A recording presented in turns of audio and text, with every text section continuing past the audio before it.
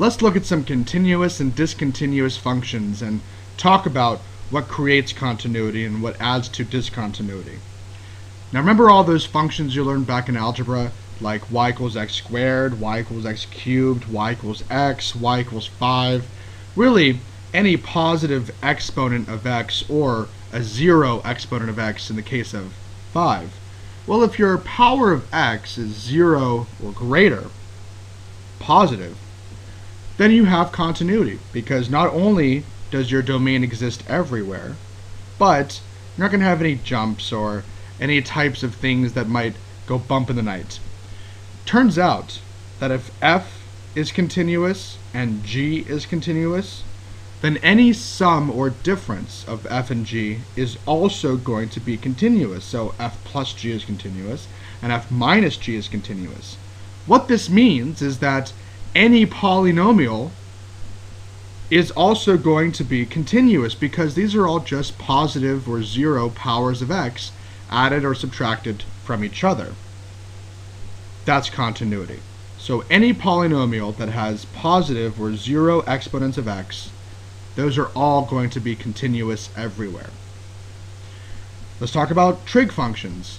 Sine of x, that's continuous cosine of x, that's continuous everywhere as well. Really cool thing, if f is continuous and g is continuous, then f times g is also continuous. Pretty cool stuff. Tangent of x, not continuous. There's a vertical asymptote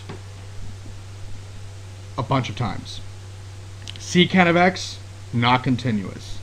And really, those are because we're taking for example, tan x is sine x over cosine x. It's this cosine x in your denominator that makes tan x not continuous.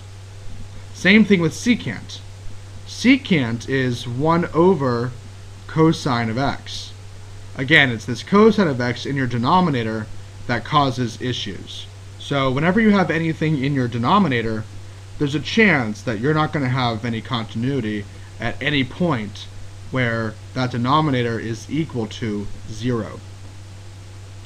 Now e to the x, that exists everywhere, and that is a very continuous function. Natural log of x is a bit different. Natural log of x is continuous wherever it exists.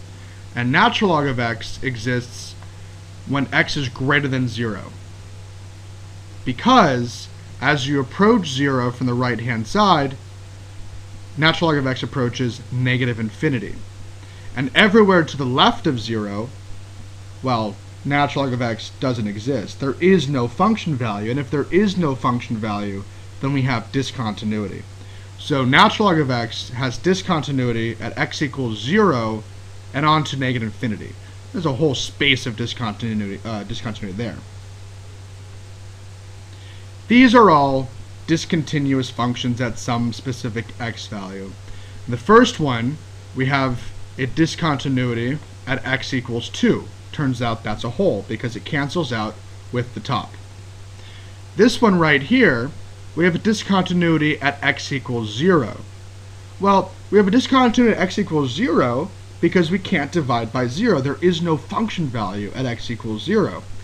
And of course, if you were to do the three steps of analyzing uh, the limit here, you would realize that this x in the bottom doesn't cancel out with any x on top. And therefore, this right here is a vertical asymptote. So because your x doesn't cancel out, here we have a vertical asymptote. Let's take a look at our third function, x plus 3 over x minus 2. At x equals 2, we're dividing by 0, However, x minus 2 does not cancel out with anything on top, which means that this is also going to be a vertical asymptote. If it did cancel out, like in number 1, that would be a hole. Now the last one is 4. Whenever you see absolute value either on top or on the bottom, you should be very wary because that means there might be a jump lurking. And in fact, in this particular example, there is a jump. This particular function looks like this. So, you see absolute value, just check for a jump wherever there might be a discontinuity.